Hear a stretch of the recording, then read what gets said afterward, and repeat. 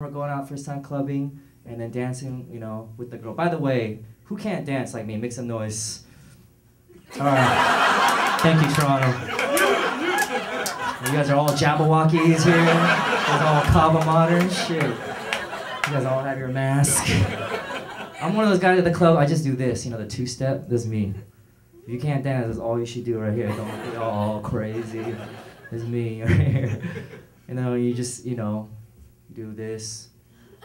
and you, uh, you know, you look over. You see the uh, group of girls and they're making eye contact. Like, Korean girls have this down to a science, all right?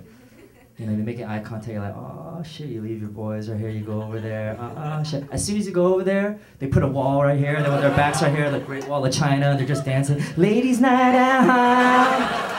I'm like, ah. You're making eye contact. And I'm like, oh shit, no, no, no, no, I want to dance right here, right here. This is the spot. They're like, dude, what's going on? I'm like, they all got boyfriends. They all got boyfriends.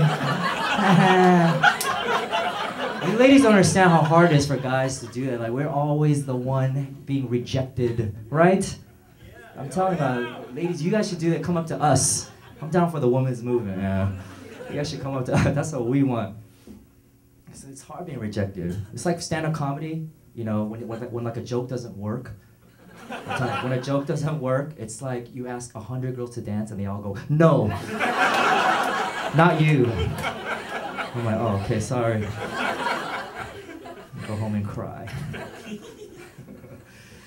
you know, they always do that, that look. But I remember, you know, so I went clubbing, met a girl, one thing leads to another. I'm just thinking, oh yeah, we're just gonna like kiss, make. Up. I'm just like basically out to experience the world, right?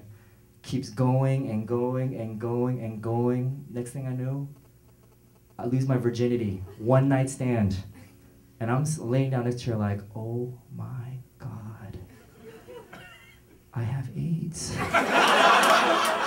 I know I have AIDS.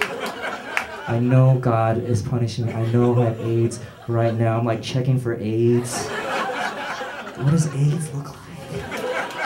Oh my God.